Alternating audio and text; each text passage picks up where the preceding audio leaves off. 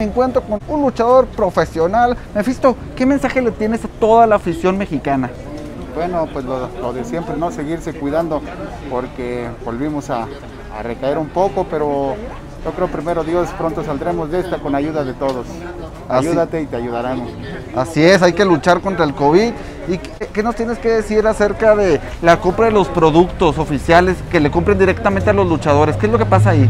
Eh, sí, como, como bien sabe, ¿no? Hay mucha gente que se aprovecha de, de nombre, el, el- el prestigio que le ha dado uno a, a- a esta máscara, a este personaje. Entonces yo creo que, que lo mejor para bien de ustedes y para bien de nosotros es que le consuman al, al propio luchador.